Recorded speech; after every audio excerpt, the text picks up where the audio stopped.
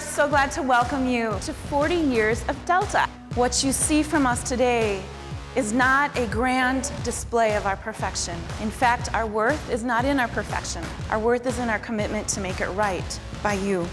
It's very exciting. We learned a lot of new information about upcoming machines. The speakers have been very good. This has been a well-planned event. I'm very pleased with everything that took place. You can tell that Delta ModTech is a risk-taking company. What on earth is a lawyer doing as your keynote? So we've got to find a way to sell the product and make people remember that it's our brand that has that great technology. This has been a great event. It's really important to be able to see the technology in person and see all the people that we work with at Delta. Now we're going to get into the sort of the nitty gritty of coating itself. Now we're doing it in a way that allows us to put extremely accurate layers of material on very thin or very thick materials. Thickness control when you're coating is what everybody's looking for.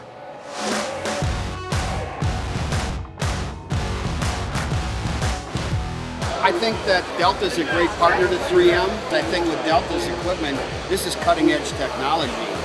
Domino and Delta ModTech work really well together. They've been a really good support mechanism for Domino.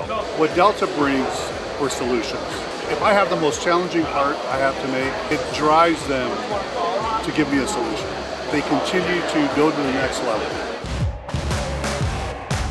We love being challenged the things that you guys bring to the table and you ask us to do, we're here to serve you, you know, not just that we're a bunch of people and a bunch of engineers and we make some neat equipment.